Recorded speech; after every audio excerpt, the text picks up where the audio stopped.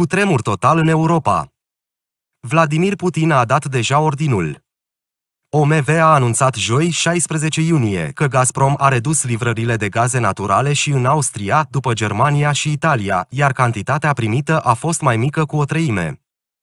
În acest context, grupul OMV a explicat că Gazprom nu a informat în legătură cu o reducere a furnizărilor. Gazprom nu a informat în legătură cu o reducere a furnizărilor. Reducerea pentru Austria este de o treime, mai mult sau mai puțin. Ca urmă a scăderii cererii acesta nu are niciun efect asupra aprovizionării clienților noștri, a semnalat OMV, potrivit FE.com.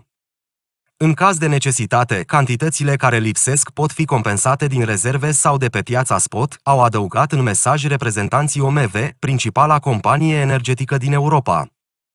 De asemenea, autoritatea austriacă de reglementare e control a dat asigurări vineri că țara are în prezent rezerve înmagazinate de gaze ce echivalează cu 40% din consumul anual. Reprezentanții ai Ministerului Energiei din Austria au semnalat că autoritățile urmăresc situația și sunt în permanent în legătură cu OMV.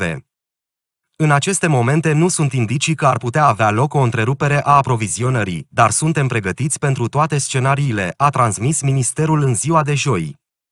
Conform sursei menționate, aproximativ 80% din gazele naturale importate de Austria provin din Rusia, motiv pentru care guvernul austriac se numără printre cei mai reticenți în aplicarea unui embargo asupra gazului rusesc, ca urmare a invaziei Rusiei în Ucraina.